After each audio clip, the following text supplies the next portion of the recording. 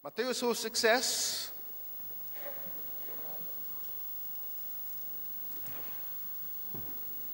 Ik begin bij vers 9, maar het gaat om vers 12.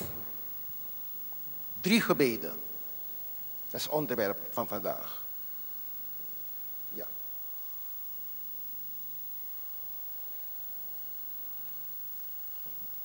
Onze Vader, die in de hemelen zijt, uw naam worden geheiligd, uw koninkrijk komen, uw wil geschieden, gelijk in de hemel als ook op de aarde.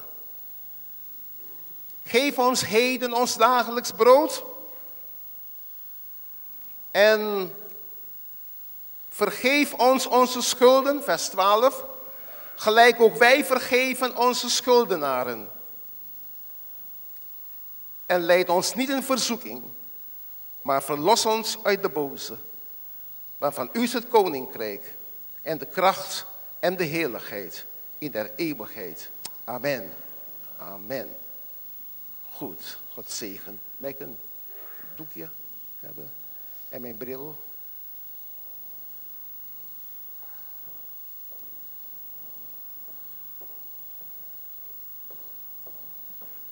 God is goed en liefdevol. Als we hebben over onze Vader, maar zo kennen we Hem. Alleen het feit dat wij geleerd hebben en wij mogen door het bloed van Jezus accepteren dat Hij onze Vader is, is heel bijzonder voor ons. Dat wij kinderen God zijn. Dat wij erkenning van ons zoonschap hebben. God is onze Vader. En we zijn zijn kinderen. Ik ga even een paar dingen van hem zeggen, van de Vader zeggen, voor ik verder ga. Ten eerste, onze Vader in de hemel is de beste Vader. Bent u mee eens gelovigen? De beste Vader.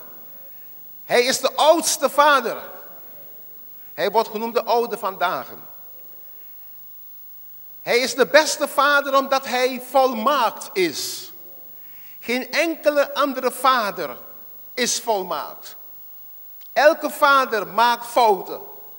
Heeft fouten gemaakt, zal fouten maken. Maar de beste vader is hij, want hij is volmaakt.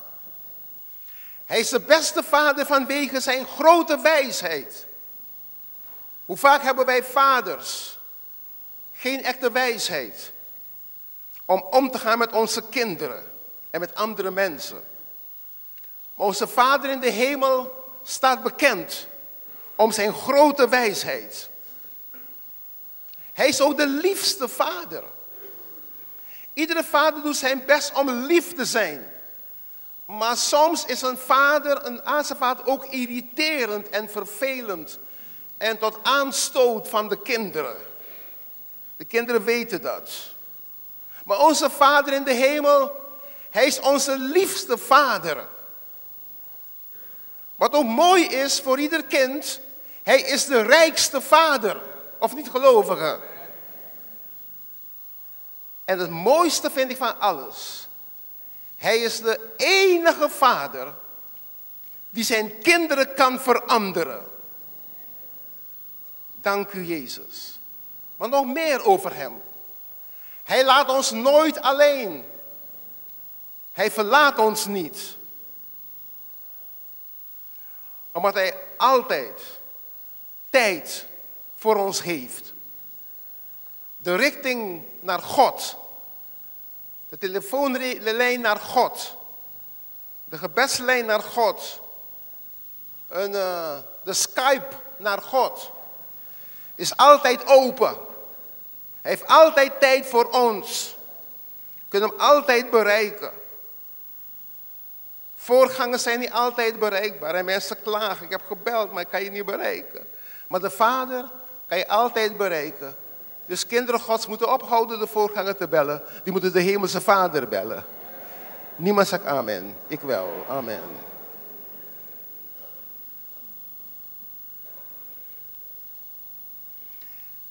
Hij is de beste vader, want hij gaat overal met ons mee. Ik zal je niet verlaten, ik zal je niet begeven. Hij beschermt ons. Hij is onze schaduw aan onze rechterhand. En omdat hij van ons houdt, heeft hij ons het woord gegeven die ons corrigeert en terechtwijst. En ik bid dat wij zijn kinderen zijn correctie en zijn terechtwijzingen en zijn vermaningen aanvaarden. En die eigenwijs zijn en doen wat we zelf maar willen. Hij is de beste vader en, en dat hij het beste met ons voor heeft. En onze hemelse vader sterft nooit. Aardse vaders gaan dood. Mijn vader is gestorven. Sommige vaders die zijn gestorven. Sommige vaders van u hier zijn gestorven. Niet sommige vaders hier, maar sommige vaders van u zijn gestorven. Maar onze hemelse vader sterft nooit. Dank u Jezus. Dat wil ik van hem zeggen. Dan wil ik hem eren. De hemelse vader. Dat hij zo bijzonder is. En ik ben bij dat pikken, bij dat pakken. En we zeggen, vader, ik kom tot u, dat we weten tot wie wij naderen. Wat een heel bijzonder persoon tot God, tot onze Vader, Abba. En het gaat mij, als ik kort mag spreken, niet om het karakter van onze Hemelse Vader. Daar heb ik genoegzaam daarvoor over een paar dingen gezegd. Maar het gaat mij om de drie gebeden die de heiland ons geleerd heeft. Tot de Vader op te zenden. En mensen zenden heel veel dingen op tot God. Dat is goed. Blijven doen. Maar deze drie dingen heeft de Heer ons geleerd. Om contact met God te krijgen. Want bidden is contact hebben met God. Je bent niet gewoon in de ruimte. Maar je bidt om een relatie met God te hebben. Je bidt om dat God je hoort. Als je zou bidden en je weet God hoort je niet, dan bid je niet. Dan kan je tijd anders besteden met je iPad. Maar je bidt omdat je weet dat de Vader je hoort. En drie dingen heeft de heiland, de Heer Jezus, die voor ons gestorven is aan het kruis van Golgotha, en door zijn dood kunnen wij koningskrijk, koningskinderen zijn. Zijn wij kinderen van het koninkrijk. Omdat hij voor ons gestorven is aan het kruis van Golgotha. Dat is heel bijzonder. En deze drie dingen heeft hij ons geleerd. Ten eerste, geef ons heden, geef ons vandaag ons dagelijks brood. Dat wil zeggen alles wat wij nodig hebben elke dag. Kunnen wij hem bidden.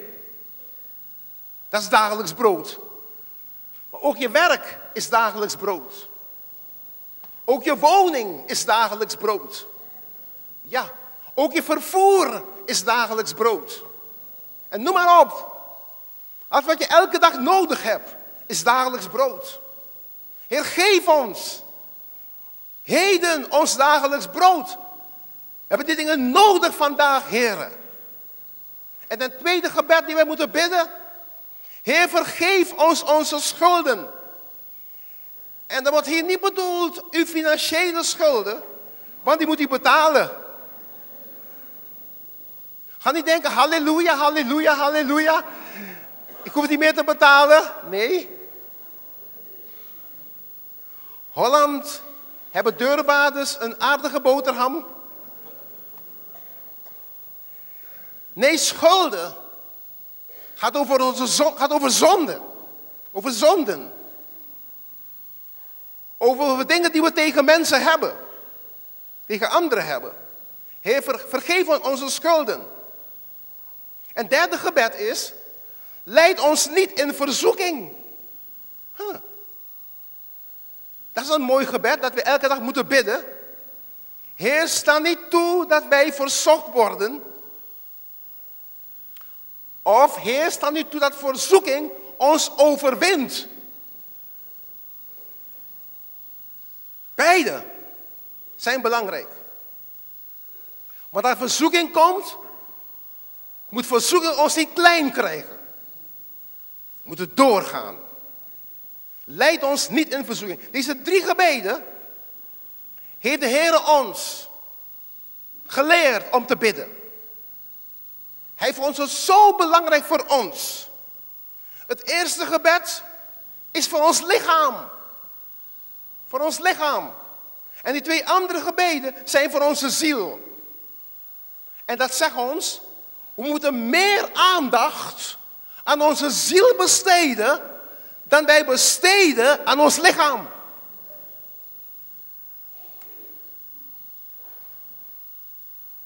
En hoe vaak zijn we bezig met de dingen van deze wereld? En niet met de dingen van God. Oké?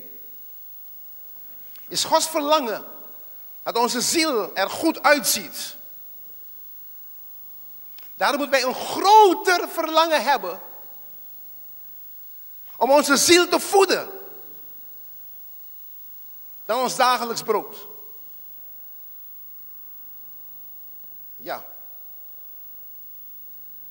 Er moet een diep verlangen in ons zijn om de Heer te verhogen, Heer te prijzen, aanbidden. Zie, verlangen moet er zijn. Je zegt niet de tijd die je aan moet, aan, die aan moet besteden.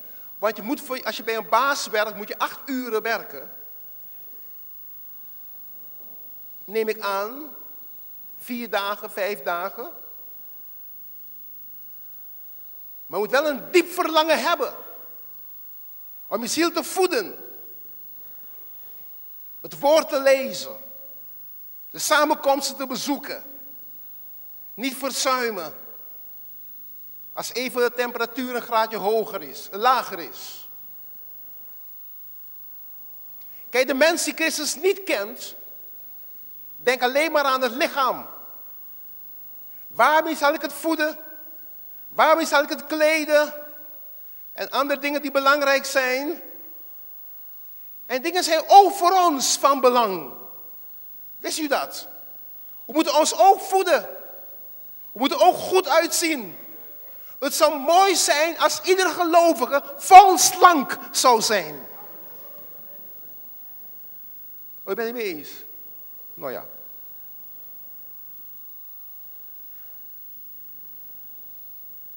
Zou mooi zijn, denk ik. Laat me dat verzachten, verzachten, leed verzachten, denk ik. We moeten ons bezighouden over met zulke dingen. Maar de Heer zegt, zoek eerst mijn koninkrijk. Zoek eerst mijn koninkrijk. Doe eerst mijn wil. Dat wordt al het ook toegeworpen. Dus die dingen zijn ook belangrijk waarmee je kleedt, waarmee je eet enzovoort. Waarmee je ontspant. Weet je wel, een uh, fitness. Zijn belangrijke dingen. Noem maar op. Ja? Oké. Maar denk aan de ziel. Maar de ziel is een immaterieel onderwerp. Ons lichaam is een huis. We wonen in ons huis. Als je dood bent, blijf je lichaam.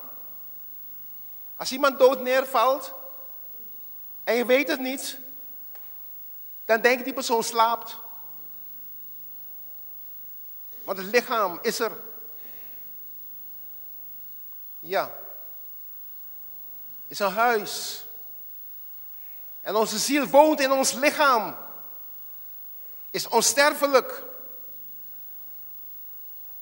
Het kan leven zonder een lichaam. De ziel. De ziel heeft een begin, maar geen einde. Ja? Daarom moeten wij gelovigen, kinderen van God, aan beide denken. Bidden voor dagelijks brood, voor ons lichaam Zeker, ons lichaam is belangrijk. Daarom besteden we zoveel aandacht aan ons lichaam. Daarom maken wij ons zo mooi. Ja. Doe alles eraan om goed uit te zien. Shape.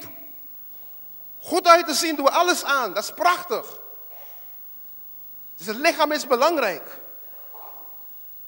Maar denken aan de dingen van God is ook belangrijk, of zelfs belangrijker. Ja?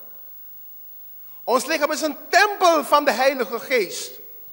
Is een huis waarin de Heilige Geest wil wonen. Of weet gij niet, zegt de Bijbel, dat uw lichaam een tempel is van de Heilige Geest, die in u woont, die gij van God ontvangen hebt. Dat gij niet van uzelf zijt. Want u bent gekocht en betaald. Dan zegt de Bijbel, als je je lichaam mooi maakt, is het niet om in eerste plaats mannen aan te trekken, maar om God te verheerlijken.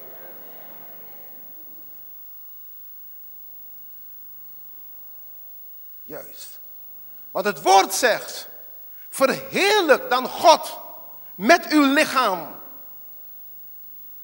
Dus de mensen moeten aan ons kunnen zien, als wij dat doen, dat wij kinderen van God zijn. Met ons lichaam kunnen wij God verheerlijken. Mhm. Ja. Wist je niet, hè? Ja hoor, gelovigen. Je kan met je lichaam God verheerlijken. Ja. God zegt, doe dat. Doe dat. Dat moet jouw motief zijn. Vrouwen zegt niet, ik ga mijn lichaam prachtig maken en tentoonstellen op straat om, om hongerige mannen aan te trekken. Nee, je gaat je lichaam niet tentoonstellen op straat of iets dergelijks. Want je lichaam is om God te verheerlijken. Dank u, Jezus. En om God met je lichaam te kunnen verheerlijken, dat is weer een ander punt dat wij moeten onthouden. Dan moet het met onze ziel in orde zijn. En hoe is onze ziel in orde? De zonde loslaten. Ja. Als onze ziel vol genade is, zal het lichaam stralen. Er gebeurt iets met uw lichaam. Oké. Vele zieke lichamen ontstaan door een zieke ziel. Zieke ziel, verwonde ziel,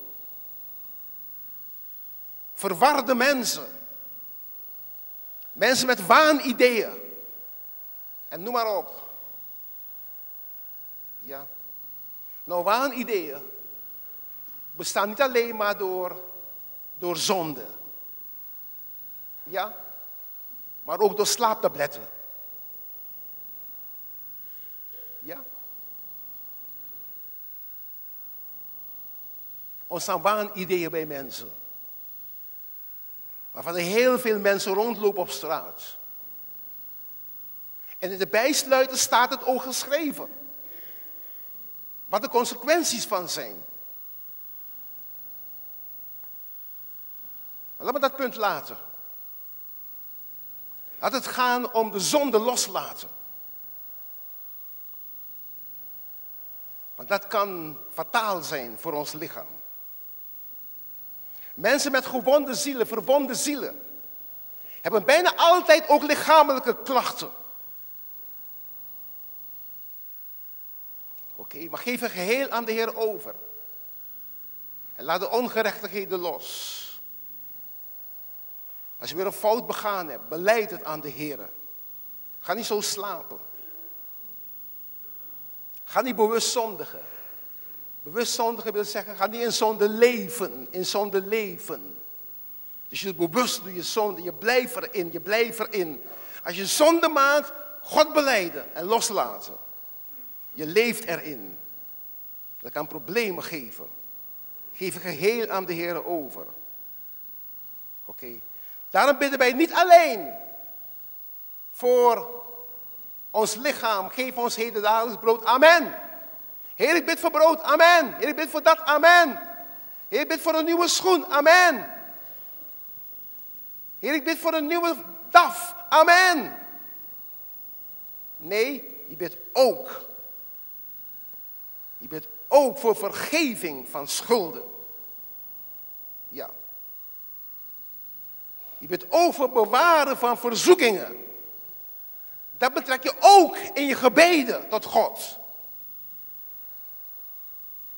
Dat is heel belangrijk. Want we kunnen genezing ontvangen uit de machtige hand van God. Heer, vergeef ons onze schulden. Welke schulden? In Lucas 4, 11, vers 4 staat het duidelijker. Vergeef ons onze zonden. In Matthäus staat, vergeef ons onze schulden. In Matthäus 11 staat, vergeef ons onze zonden. Zonde is een schuld. Een zondaar is een schuldenaar. Zonde is de grootste en ergste schuld. Waarom is zonde zo erg? Daarmee ga ik eindigen. Want hij zit erop. Ten eerste, we kunnen het zelf niet terugbetalen. We hebben niets bij ons.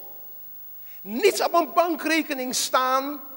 Niets in Zwitserland staan of op de Bahamas staan. Die belastingparadijzen. Dat is voor de mensen die veel geld hebben. Om onze zondeschuld terug te betalen. Dus we kunnen onze schuld niet zelf betalen. We kunnen niet zeggen aan de Heer, Heer, ik heb gezondigd, heb, heb, heb geduld met mij, geef mij uitstel van betaling. Volgende maand krijg ik geld, krijg ik kinderbijslag, dan ga ik mijn zondeschuld betalen met rente. Nee, zo werkt het niet. Want Adam heeft ons wat dit betreft bankroet gemaakt. Wij kunnen alleen maar leunen op Jezus Christus. Die tweede Adam. Die voor onze zonde gestorven is. Daarom bidden wij, Heere, Heere, Jezus, vergeef ons onze schulden. Mercy, mercy. Genade, genade, genade, Heer. Ik kan het niet zelf. Ik wil het wel graag. Desnoods naar Lourdes gaan, of naar Mekka gaan, of naar Jeruzalem gaan, om mijn schuld te vereffenen. Nee! Jezus Christus kan onze schuld vergeven. Maar dan moeten wij Hem vragen. Heer, Hij leert ons bidden dat wij vragen. Het gaat niet automatisch. Dat je schuld vergeven wordt, moet hem vragen. Heer, vergeef ons onze schulden. Dank u Jezus. Want hij kan ons vergeven. En de Heer is geld kwijt. Niet in termijnen. Hij is geld kwijt. In één keer. Helemaal. Je begint met een schone lei. Alle zonden zijn vergeven. Door het bloed van Jezus. Hij heeft ons vrijgekocht. We waren onder de bindingen van de tegenstander van de ongerechtigheden, van verkeerde denken, van andere toestanden. Maar hij heeft ons vrijgekocht door zijn kostbaar bloed. Halleluja. Dank u Jezus. Waarom is het de ergste schuld ten tweede? Omdat de zonde tegen de oneindige majesteit van God gaat. Onze God wordt onteerd door de zonde van de mens. Soms voelen wij ons onteerd door mensen. Dat mensen ons beledigen. Dat mensen leugens en lasten van ons verkondigen. Maar onze God wordt onteerd door de zonde van de mens. Het is een belediging aan God. We zingen vaak O God, groot is uw majesteit. Groot is uw majesteit. Maar laten wij beseffen dat zonde is majesteitsschennis. Want de zonde brengt scheiding tussen ons en God. Dat is het enige wat scheiding brengt. tussen ons en God is de zonde. Maar Jezus, onze Heer, heeft door zijn offer de verzoening gebracht. En door zijn offer heeft hij die scheiding opgeheven. En de weg tot de Vader opengesteld. De barricades zijn weggehaald. De versperringen zijn opgeruimd. En nu kunnen wij zingen. Ik kom in uw heiligdom binnen. Amen. Dat is wonderbaar. Dank u, Jezus. Ik kom in uw heiligdom binnen. Door het bloed van Jezus. En zij die door de geest, terwijl ik preek, gegrepen worden, begrijpen dat. Wat dit allemaal inhoudt. Het is geweldig. En dan verzoek ik u voor deze woorden. Dat de barricades zijn weggehaald. De versperringen zijn opgeruimd. We gaan Gods heiligdom binnen. Dat wij de Heer Jezus een geweldig applaus geven. Geef een applaus aan de Heer. Amen.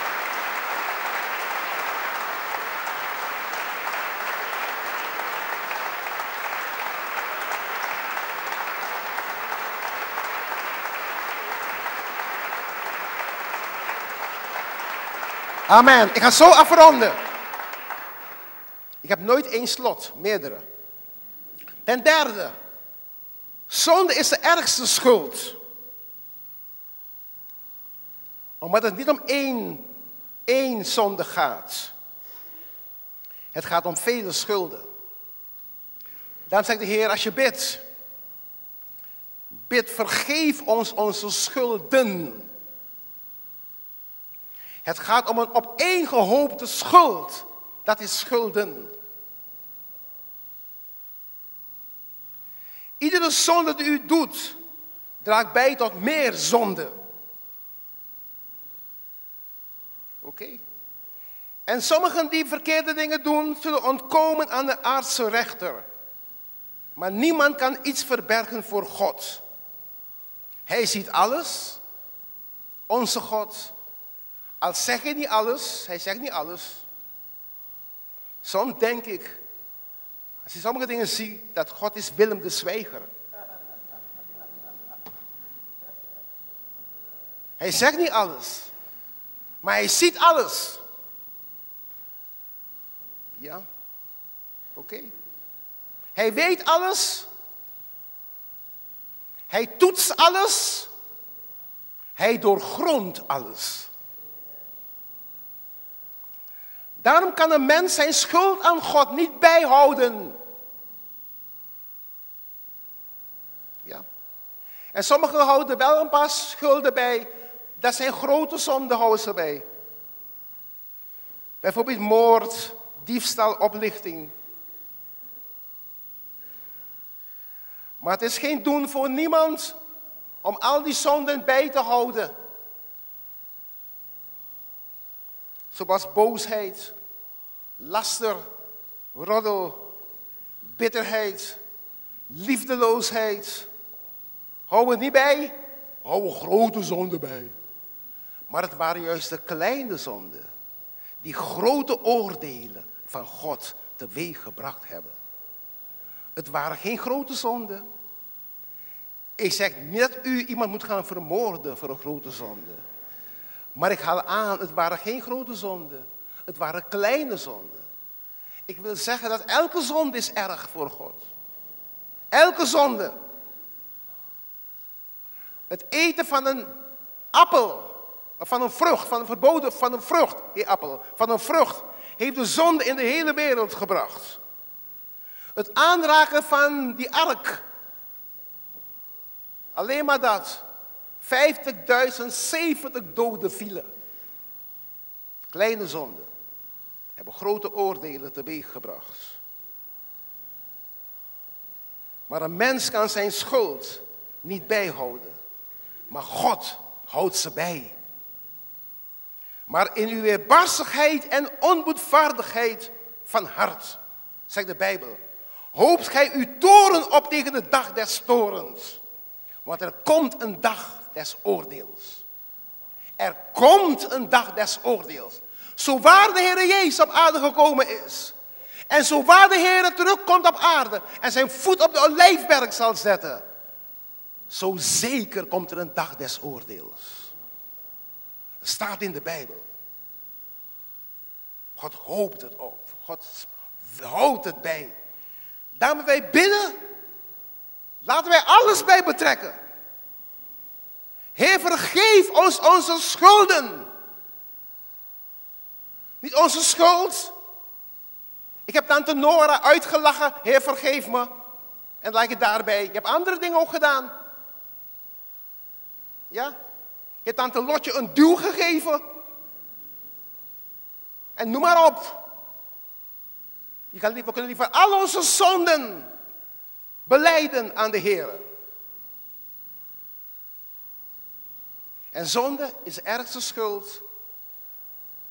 En dat is een waarheid, is een koe. Want niemand kan die schuld ontkennen. Niemand kan die schuld ontkennen. Andere schulden kunnen wij ontkennen. Bijvoorbeeld als er geen getuige is. Ja? Ga je zeggen, nee, ik heb het niet gezegd. Nee, ik heb het niet gedaan. Er is geen getuige bij. Kan je ontkennen. Of als de crediteur een, eh, die leenovereenkomst is kwijtgeraakt. Ja. Maar zonde kunnen wij niet ontkennen.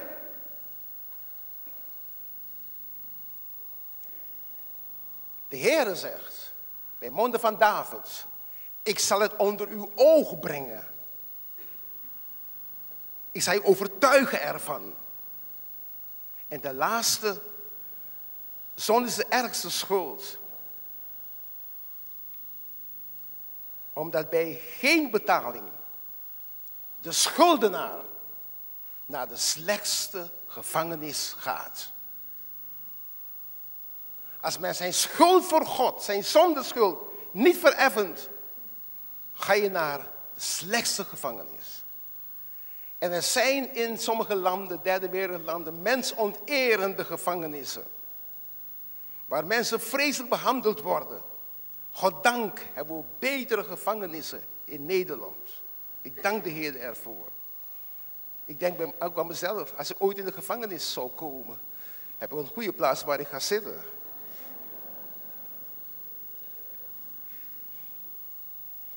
Maar er zijn heel veel mensonterende gevangenissen.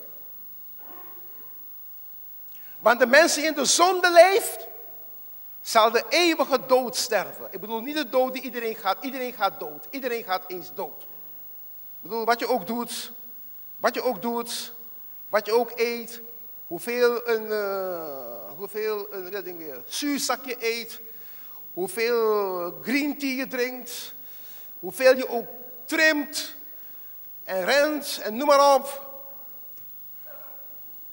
Als stop je met vlees eten of iets dergelijks. Iedereen gaat eens dood, of niet? Oké? Kijk, die dood bedoel ik niet. En sinds ik boven de 60 ben, hou ik mij regelmatig bezig met de dood. Ik weet, ik ben aan de andere kant van de dood, van de streep, aan de kant van de streep. Als je daaronder bent, ben je aan de goede kant, maar aan de andere kant van de streep ben ik. Kan plotseling gebeuren. Soms denk ik, ja heren, hoe zou het zijn, zo de gemeente, dat je als ik terwijl ik predig, zou weggaan. Ik predig, Jezus leeft, boem, daar ga ik.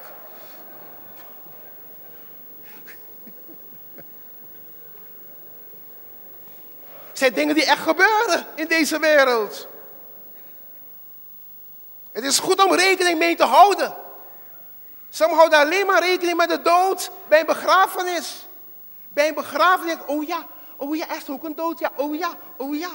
Ik moet mijn leven veranderen. Zodra ze koffie gedronken hebben na de begrafenis, zijn ze weer vergeten. Gaan ze weer tot de orde van de dag. Maar terwijl ze de dienst volgen en horen die prediken, prediken over de dood en over dingen enzovoort. Zeggen ze, oh ja, ik ga de Heer gaan dienen. Ik wil dit niet meemaken. Oh ja, oh ja, oh ja, ik zou ook in de kist kunnen liggen. Dan gaan ze naar de samenkomst. Zeggen de mensen, oh ja, allemaal bedankt voor het komen. Alle mensen, bedankt namens de familie. De familie daar in de kamer kunt u gaan. Er is koffie en oma cake is daar in die... En de mensen zitten daar en praten over allerlei dingen enzovoort. Doen zaken met elkaar, praten dingen enzovoort. Zijn alles weer vergeten. Oké, maar het is goed om aan te denken af en toe. Ik bedoel niet die dood, ik bedoel de tweede dood, de eeuwige dood, de poel des vuurs. En laten wij beseffen dat we maar één manier onze schulden kunnen betalen. En daar moet ik het bij laten, is onze door aan de Heer te beleiden. En we bidden ook Leid ons niet in verzoeking, heb ik al gezegd. Leid ons niet in verzoeking. Leid ons niet in verzoeking. Maar zeg gebed aan de Heer. Want velen komen in verzoeking. Maar zegt de Heer in antwoord op dit gebed. Je zal niet boven vermogen verzocht worden. Maar God zal met de verzoeking ook voor de uitkomst zorgen. Geef een applaus aan de Heer. Amen.